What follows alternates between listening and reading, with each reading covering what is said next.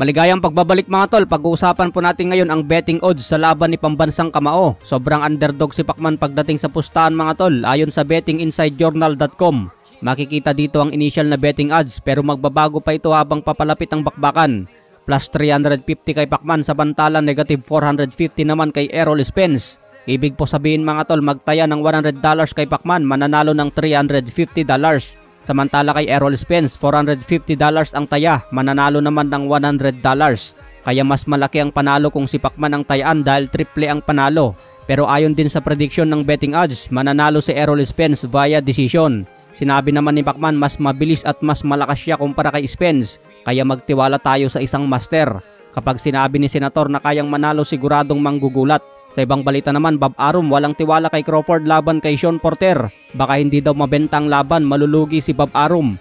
Wala pa daw napatunayan si Crawford na kaya niya magbenta sa pay-per-view kaya kinakabahan si Bob Arum. Limitado daw ang makukuha ni Bob Arum sa ESPN kaya pay-per-view ang laban ni Crawford kung makaharap niya si Sean Porter. Wala daw magbabayad sa pondo kaya ito ang kailangan ni Bob Arum. Talagang ayaw niya pa rin gumastos ng sariling pera para mabigyan ng magandang laban si Crawford. Kaya laging sinasabihan si Crawford na mahina ang kalaban dahil ito kay Bob Arum. Hindi niya mabigyan ng magandang laban. Sinabi naman ni Ed Hearn mga tol, criminal promotion daw ang top rank. Nadismaya si Ed Hearn dahil kulang ang pag-promote sa laban ni Jose Ramirez versus Josh Taylor. Hindi daw mainit ang pag-promote ng top rank. Isang undefeated daw ang labanan, dalawang elite ang maglaban pero hindi mainit sa media.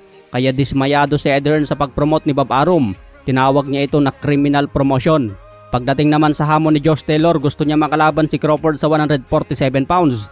Dapat ibigay daw ito ni Bob Arum habang mainit ang laban. Ito daw ang gusto ni Josh Taylor, magandang laban daw ito para kay Crawford. Sayang daw ang magandang opportunity para kay Josh Taylor kung ipalaban ito sa mga hindi kilala ang pangalan. Subscribe ka na rin para laging updated Pindutin mo ang bell